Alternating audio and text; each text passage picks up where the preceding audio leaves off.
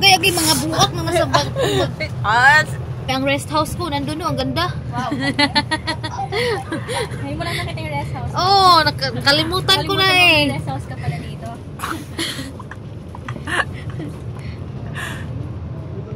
Oh, may island oh. Ganda. Pwede pumunta doon pero languyin mo. Malapit na natin sa. Wala bang ano dito? Al wala bang ano? Yung saging na ipapaano lang yung gawin mo. Bagta. Ay, mag-banana boating tayo dito.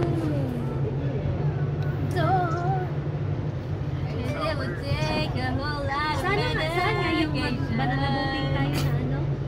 Na kasi. Ayaw sa isa. Sa isa.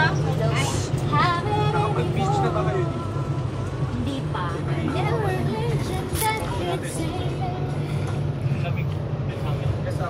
No matter.